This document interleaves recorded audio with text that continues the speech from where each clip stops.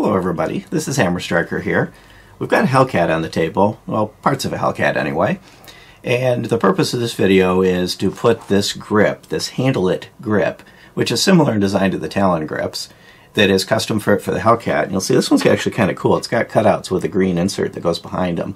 So when I actually put this on the gun, these cutouts will be green, and they've got the Hellcat logo and then the, the handle it, which is their logo. So it's actually kind of a cool setup.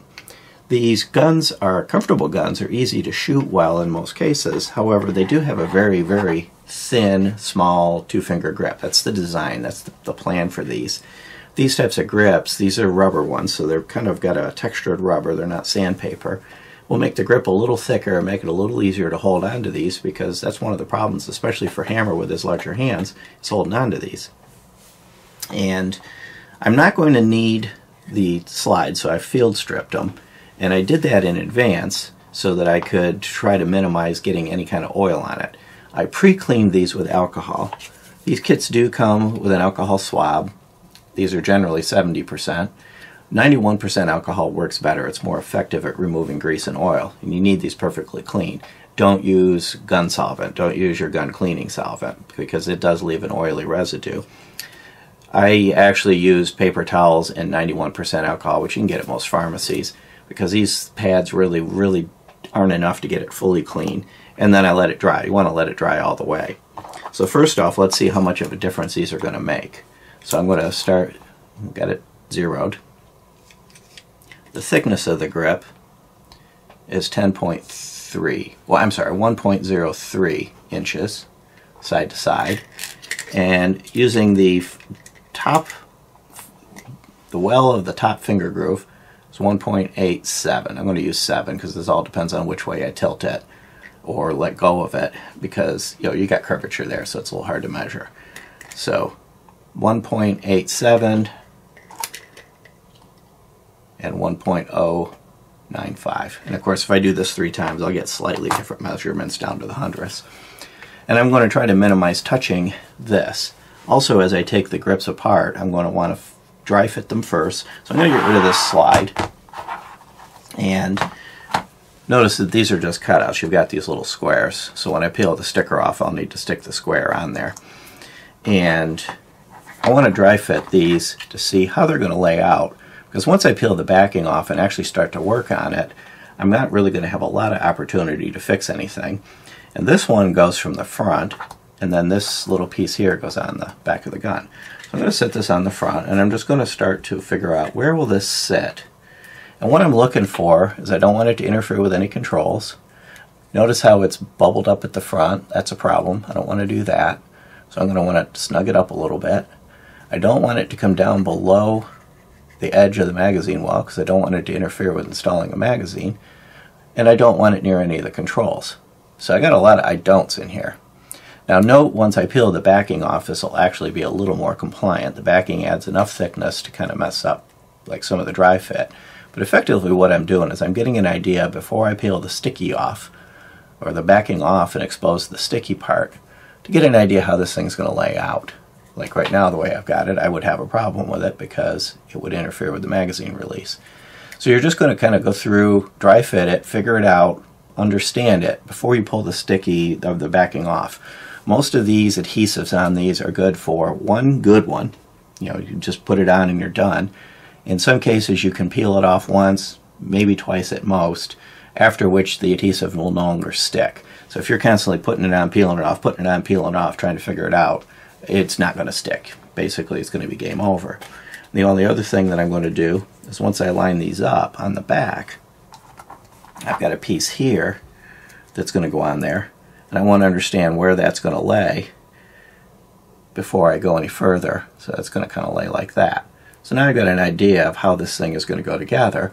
Now I can start to actually do it for real. Set this frame down. I'm going to pick a side. I'm going to take a look at the instructions and see which they recommend. Do they recommend the left side or the right side? With Talon grips, they recommend starting from the left. They don't have a left or right recommendation. They're actually starting from the front and then centering it. So at this point what I'm going to do, and this is going to be tough to show on camera, so I've shown you the basic process for determining how to lay it out. I'm going to do that for real. I'm going to peel the sticker off. I'm going to go very slowly. Now, what I'm going to have to do with these is I'm going to have to stick them on there in advance. If I try to line them up on the gun and line the thing up to them, that's just not going to work. So what I'm going to do is, as I peel off one of the sections, I'm going to drop that on there and pre-attach it to this so that it is just basically part of it.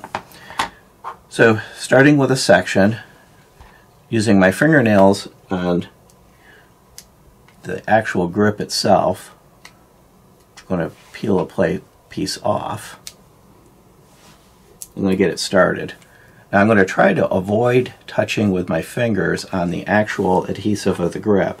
I use my fingernails whenever I need to have any contact with the grip itself and use my fingernails for it. So now I've got this taken care of. I'm going to pull it forward to me and I'm going to have to just put my face right down there and look. But basically what I want to do is make sure this square covers it completely. I don't want to leave any gaps. And the only way I'm going to be able to do that is just get my face right up into it, which is going to be hard for you guys to see. But when I'm done, you'll see this square is perfectly covering that so that from the other side, when I actually install it, it'll show through green. So I'll do that and then I'll resume. So I lined it up and then I pushed it down. And now uh, without touching, without touching the, the adhesive of the grip if I can, I'm going to pull the protection off of this.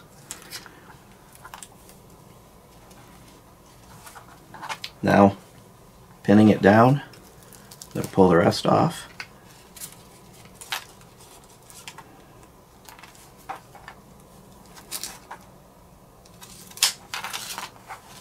Now at some point I'm going to have to pick this up. I'll grab it from the sides as much as possible. I'm going to do the same thing with this one. Line it up, drop it in place, press it down, and peel its adhesive off.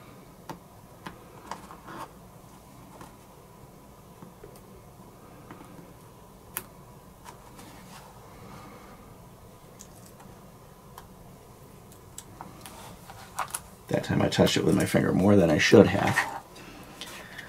So now I'm going to pick it up. And I'm going to actually bring it to the edge of the table so I can get it from underneath. And I'm going to start with fitting it to the front of the gun and start to wrap it around. And this corner, by the way, that picked up, that'll settle down when I lay it in. If I try to settle it down right now, I'm probably just going to end up with a big fingerprint on it. So I'm going to line this up, try to center it, and then just kind of lightly bring it around to see if I have this side lined up. And I don't. So I just lightly tapped it. It of course started to grip right away because it is an adhesive. But because I didn't seat it, I can still actually move it around a little bit. And all I'm going to do is basically do the same thing I did with the dry fitting, except this time for real, and I'm just lightly tapping because I want to make sure that I have the opportunity to move it if I need to before I actually start to put real pressure on it and make it permanent.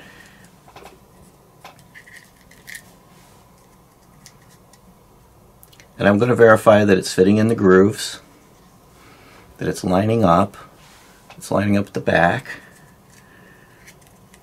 If I've got any bubbles, I try to try to mitigate those.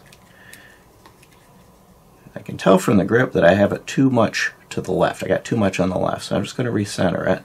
And I'm going to go through this, and at this point to do this, I really need to bring it up to my face. It's kind of hard to show that on camera. But you can see the process I'm going through with basically the same I did with the dry fitting. And I'm going to try to make sure I got this centered before I actually set it down where it now becomes permanent and the adhesive is you know, would no longer be removable. So I got this on. I didn't get it as perfectly centered as I want to, but it's one of those, if I try to go for perfection and keep, you know, try to peel it off again. So I get a little more on the left side than the right, but I'll wrap that down when I when I'm done. Don't try to keep peeling it off and resticking it to get it absolutely perfect for, for two reasons. One, you'll just go back and forth. You'll be a millimeter or half millimeter in each direction. But number two, after so many peels, the adhesive will no longer work. It won't set down. But look how cool that is with that green insert. So you got the Hellcat logo on one side, and you got the uh, Handle It logo, their logo on the other side. It's really cool looking. So last piece to do is put the back on. You'll notice I didn't fully stick down the sides just in case there's an interference at the back. Now the way this one goes, you want to have the concave part, and then you've got another piece up up there, but it's you want it to fit around the magazine grip. So this is the same basic game. Peel a section off using your fingernails wherever you have to actually touch it because your fingernails are less likely to put grease or a fingerprint on it. Line it up best as you can. I'm going to use the magazine well as my line up point. I'm going to stick it down through the middle. And then once I'm happy that I've got it centered, I'll stick it down with my thumb and then I'm going to bring these down. I'll bring the edges down. And again, I probably could have done a slightly better job of centering it, but in trying to peel it and restick it and peel it and restick it, I'm more likely to actually ruin it than if I were to just roll with what I've got.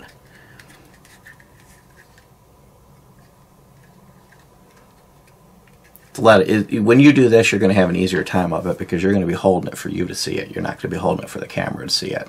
It's actually probably easier to get this perfect if you're not trying to show it on camera but it'll do for what I want to do. And now I'm going to squeeze it down. And anytime I rub, I'm going to rub towards the edge, push out any bubbles I've got, set it in place. This little piece on both sides, it's a little bit high towards the slide, but I really didn't want it to get down into the magazine well area because you're going to be messing around here and you're going to probably peel it up the slide should sit higher up on top and not interfere with this. But if for any reason it did, I've just taken an X-Acto knife and very carefully trimmed that edge. And then make sure you don't peel it up while you're doing it. But I don't think I'm going to have a problem there at all. And I did clean the entire grip area with, with the uh, alcohol. So the last piece to do is to, now that you've got all the pieces in place, is to take either a heat gun on low or a hair dryer on high and you're going to heat the whole thing up. You want to get it to under 130 degrees. It's kind of like a hot cup of coffee. So if you can comfortably touch it, but it feels hot, then it's hot enough.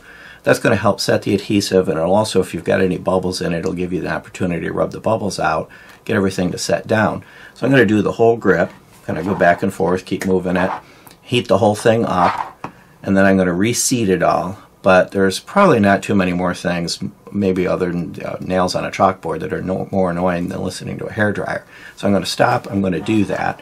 But the process I'm going to follow is just to keep going in circles. I'm not going to stay in any one spot until I got the whole thing, you know, hot like a cup of coffee. Set everything down and then go from there. So I heated it all up, went through, I pushed anywhere I was pushing, I pushed out. Take special care around here not to rub, so I pushed flat. Kind of the same thing with that, where it matches their logo. And uh, got it all debubbled, flattened down, all the corners down. Anytime you have a corner, you push away from the center towards the edge so that you're rolling the edge down instead of accidentally rolling the edge up. And make sure everything is well flat and seated. And again, if you get any edge like that kind of sticks up, you would just trim it. You shouldn't have to trim these but you know, if you centered it a little bit off, you're better off having it not hang down here because you're going to be playing here all the time than areas where you're less likely to touch it. Well, let's see what we had effect we had on us on the uh, thickness. So we'll do side to side thickness. 10.81.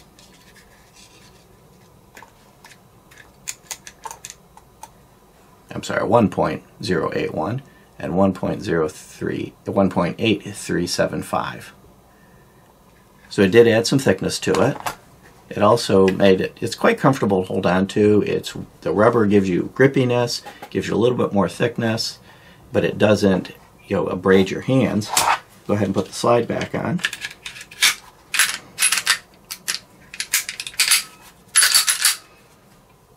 And now I have a Hellcat with a slightly thicker grip and a little bit more grip texture to it, which should make it a little bit easier to keep this little guy in your hands.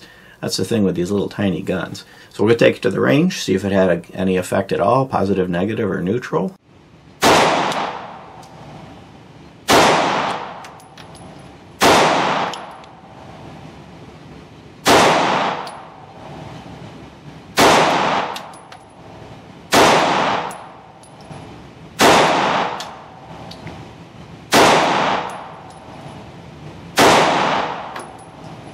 Got the thing off to the range, got a chance to try it out, and what we found with this one is the grip on this is a little thicker than the P365. So it's right on the edge of the sweet spot for thickness for hammer, and it's right within range of what's really comfortable for me. The grips are comfortable. They did exactly what they claimed to do. They did actually feel like it was going to stay in your hand a little bit better and gave you a little bit of cushioning. So overall, they were comfortable to work with. They didn't change my ability to shoot this gun well. They didn't. It didn't improve it. Didn't degrade it. But it did feel a little more solid in the hand. It felt like it wanted to stay there. For hammer, it did make it just a little bit thicker, and it kind of brought it into that sweet spot that where the grip was big enough to be comfortable for him. And what he's found is guns, and same kind of the same with me, guns like the 42 and the P380 by Kahr that are really thin are easy to shoot well. Go to the next step up, get to the PM9 or the Glock 43, and the grip's just not right. It's just not right in that sweet spot. This one is almost at the edge of that. Now, one thing we did have to do is, and this could have been just how I centered it when I put it on, the grip originally came back to about here and it didn't bother me at all, but Hammer's got larger hands, and the edge was just enough to kind of just irritate the web right here of his thumb. So we had to do a little bit of range surgery and get a knife and trim this back a little bit, and when I did, that solved that problem. So if you find that the edge is catching you just right, you know, don't abandon the grips, just give it a little trim, and it's possible if I had put them in, on just a little further forward, or if I didn't have, you know, like I didn't have the size hand, hands that Hammer does, so I didn't have a problem with it, you may or may not, but a little trim will fix it. If you do decide to trim, be very careful about lifting it up too much. You want to lift it as little as possible because you don't, once you break that adhesive, it won't stick. But I guess if you ask the question, are they good quality? Absolutely. They've hold, they held up well at the range. They were comfortable. They did what they claim. They didn't bite into your hands other than this one spot. It, for hammer, it didn't bite into the hands or pick or pull at you or anything. If you're looking for th more thickness like you might get with Hogue grip, they're not designed to do that, and they, they kind of don't. But that extra about two millimeters of overall diameter did help hammer kind of bring it a little bit closer to the sweet spot. And of course, you can't you can't pass up the fact that they just look cool with that green inset on both sides. So overall, it kind of makes the gun stand out a little bit. They're cool grips, they're comfortable grips, and they did work well for what they claim them to be. Beyond that, if you like our videos, please give us a thumbs up, share, subscribe, click that bell if you do. Check us out on Facebook, Twitter, Patreon, Instagram, all over the place. Have a great day. Thank you.